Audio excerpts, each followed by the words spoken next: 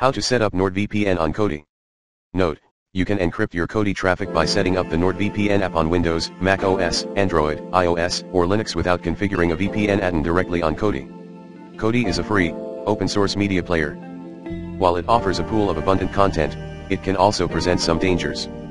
That's why it's highly advisable to use Kodi with additional security measures. To use it with NordVPN, you have to connect the device that is running Kodi to NordVPN servers. You can read more about Kodi here.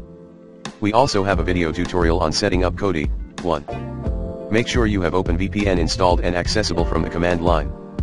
If you're running Kodi on LibreELEC and OpenELEC, make sure you have installed PSMISC and Open packages. Run the following commands to make sure you have them installed. Update sudo apt-get install open sudo apt-get install PSMISC if you are using Windows, check the tutorial on how to install OpenVPN and put it on your command path. 2. Download the NordVPN add-on zip file here. nord.app slash Kodi and add it to your Kodi device. You can do so by A.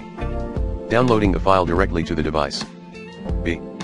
Downloading it to your computer, saving it on a USB flash drive, and inserting the flash drive into the Kodi device. 3. In the Kodi interface, go to Settings System Settings Add-ons and flick the Unknown Sources switch to On. 4. A warning message will pop up. You can safely click Yes. 5. Go back to the home screen and click on Add-ons. In the Add-ons menu, click the Package button in the top left corner and select Install from zip file.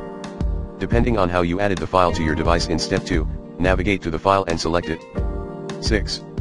Once the installation is complete, you will see a prompt offering you either to run the VPN setup wizard or go to the settings.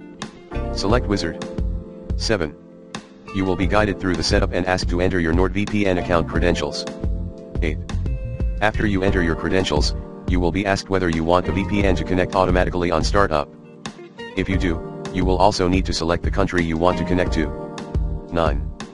Once done, you will be successfully connected to VPN. Warning, the NordVPN service should never be used to bypass copyright regulations. NordVPN does not promote, condone, or endorse the use of the service for such purposes. For more details, please read the NordVPN Terms of Service.